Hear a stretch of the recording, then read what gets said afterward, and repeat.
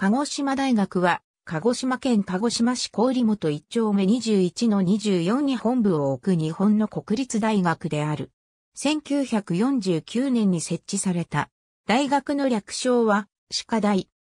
鹿児島大学は、1949年の学生改革の際に、鹿児島市内に所在していた旧制所学校のうち、第7高等学校増資館設置、管立鹿児島農林専門学校設置、鹿児島主犯学校設置、鹿児島青年主犯学校設置及び、鹿児島水産専門学校設置を包括し、分理学部、教育学部、農学部、水産学部の4学部をもって、新生大学として誕生した。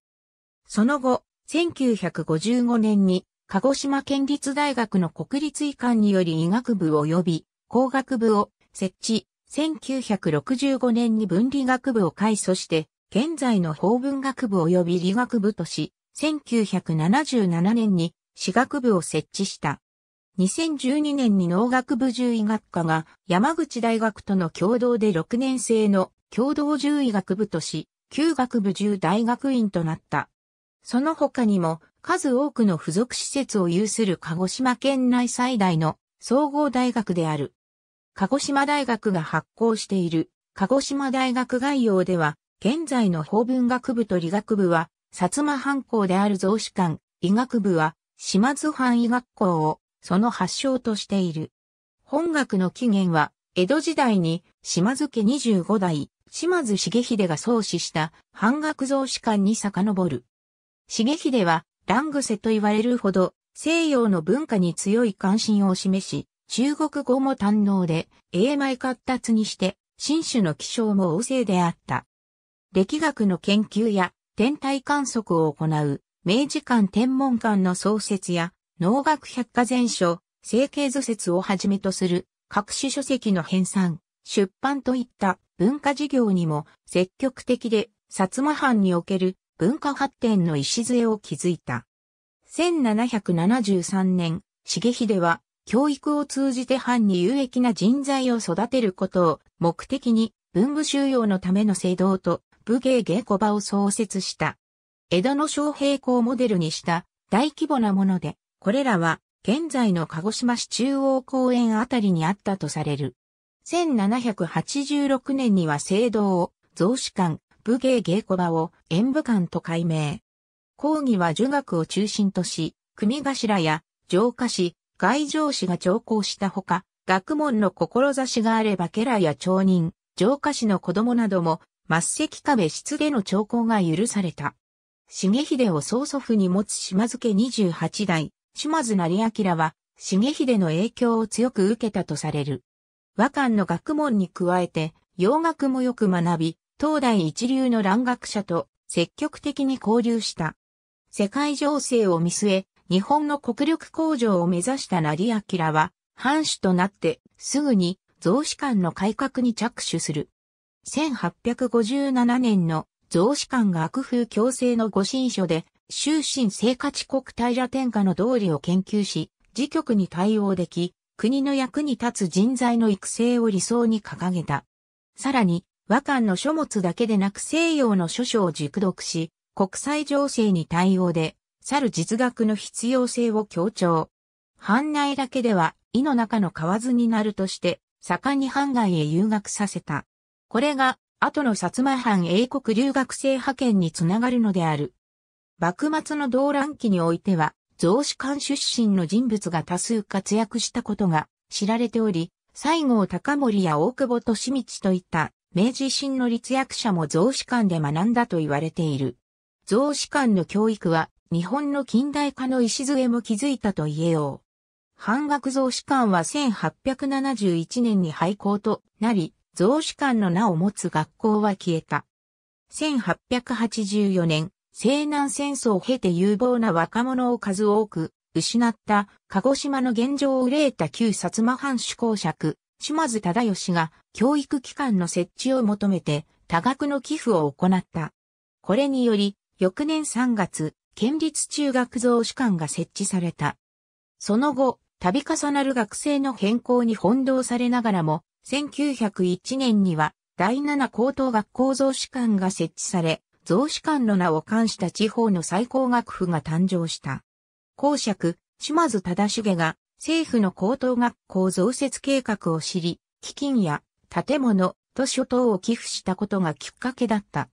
藩校の流れを組み、その官号まで受け継いだ、旧制高校は、全国でも七校ただ一校。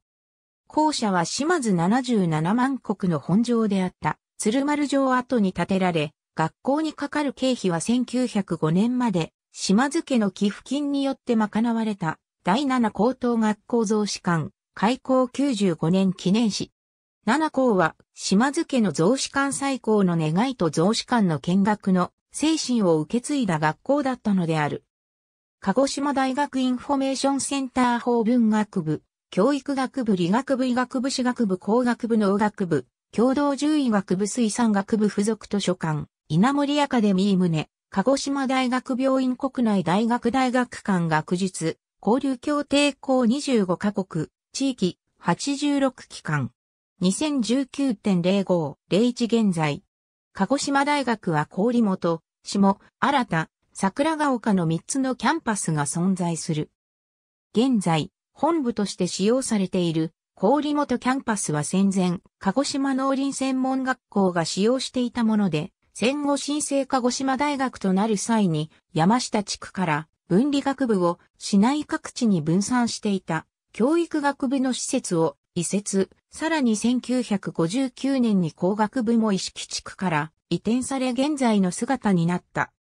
なお、山下地区は、鹿児島大学医学部、医学部附属病院を経て、県立図書館、鹿児島県歴史資料センター黎明館となっている。大学の教養門から市電1系統の記者場電停周辺にかけて、記者場と呼ばれる学生街を作る。具体的な範囲としては、新た2丁目、下新た3丁目の一部、鴨池1丁目の一部を含む半径400メートル程度の地区である。飲食店、ドラッグストアなどの商店と住宅街が混然一体となった地区を形成する。地方の学生街としては規模の大きい部類である。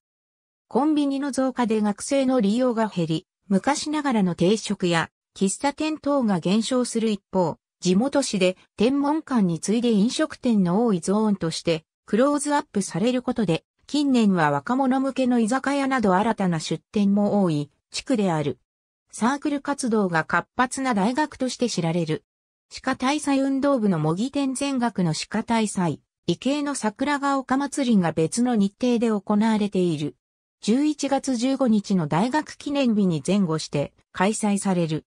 2017年まで各サークルなどにより、新た貢献馬場鹿児島中央駅、水産学部を練り歩くみこしパレードが行われていたが、近隣住民への配慮により、歴史ある伝統が幕を閉じた。初日から各サークル、学科による模擬展、隠し展示、音楽系サークルの演奏などが行われる。模擬展が中心の大学祭としては規模が大きく、地元では秋の風物詩として多くの来場者で賑わう。いくつかの模擬店では市民の間にも名物として定着しているものが見られる。教育学部は学科ごとに展示を行う。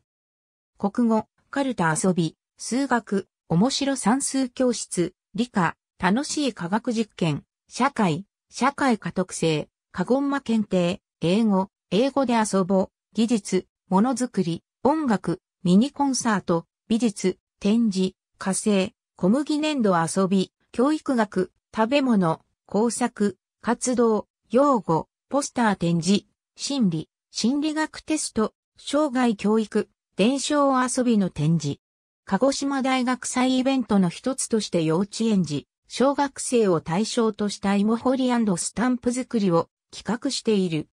さつまいもは学生食堂の残飯から作られた堆肥を活用して、郡本キャンパス内農学部農場にて栽培したもので、収穫物は市民に配布していた。大宗鹿大祭の翌週に開催される。芸能人などのトークやライブが行われるのが鹿大祭との違いである。展示は医系学科による体験型のものが多い。少数の模擬店も運営されている。ただし、現在は認証を維持していない。